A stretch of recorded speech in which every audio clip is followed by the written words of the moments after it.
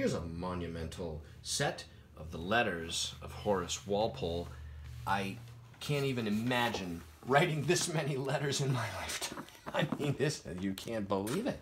Look at them all. Just, here's, uh, well, let's take a look at the set. Uh, steel engraved frontis of the author at the age of 10. this is 1906 in Edinburgh. 64 steel engraved portraits throughout, deckled edges, top edge gilt, spine uh, gilt lettered, the um, crest or armorial shield, so to speak, of the Walpole uh, household and family name. And then throughout we have, like here, the Duchess of Marlborough. Um, and here we have, yes, so on, Bolingbroke.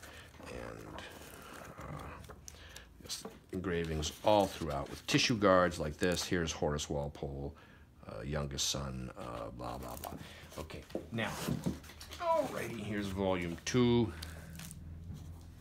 Nice uh, early armorial engraved bookplate of the previous owner.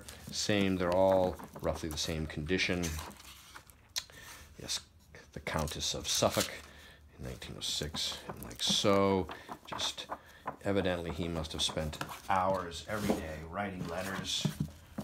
And then, I don't know, he saved them, somebody saved them all. He probably kept copies of them or something. Montagu, yes, lady, yes, yes, yes. Ha, look at that, wow, it's great.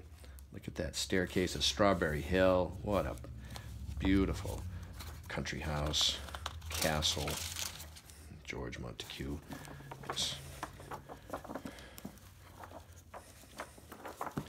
And the whole set is like so monumental. Just profusion of engravings. And this set is now available online from me, Brian DiMambro.